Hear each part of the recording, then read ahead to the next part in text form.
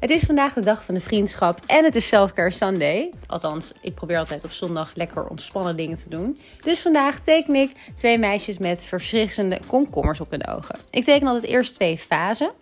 En dat worden uiteindelijk de gezichten. Daarom vast teken ik meteen de nek. En die zijn sierlijk en lang. Dan teken ik in plaats van de ogen twee grote rondjes. En het begint nu een klein beetje op een kikker te lijken. Maar let op, als ik twee kleine rondjes erin teken en druppeltjes, dan ontstaat er meteen een komkommer. Vergeet het stipje in het midden niet. Dan teken ik daarachter de wenkbrauw, de neus en de lippen. En dat doe ik bij het andere gezichtje ook.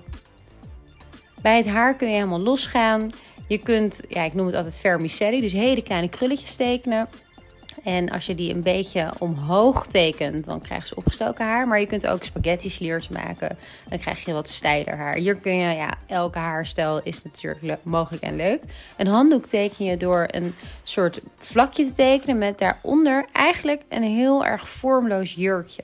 Als je dan kleine vogeltjes, mini-veetjes en stipjes erop tekent, dan creëer je het handdoekeffect. In haar hand teken ik een stukje komkommer, weer op dezelfde manier zoals ik die ook op haar oog had getekend.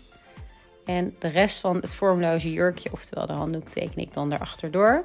En hier kun je in de andere hand ook bijvoorbeeld een huidcrème of iets anders wat jij bij Beauty vindt passen tekenen.